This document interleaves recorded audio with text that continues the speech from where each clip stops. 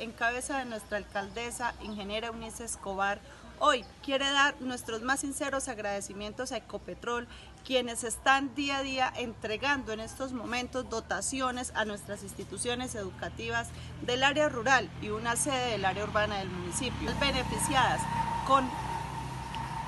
cocina industrial para los restaurantes escolares, con pupitres para nuestros estudiantes, con escritorio para el docente, con diferentes accesorios que serán de gran utilidad en estas instituciones educativas y que busca dar una cobertura y una calidad educativa a cada uno de nuestros estudiantes del municipio de Paz de Ariporo. Hoy queremos darles nuestros más sinceros agradecimientos a Ecopetrol por estar más cerca de nuestros estudiantes y de nuestra población campesina, de nuestra población rural que tanto lo necesita. Muchas gracias.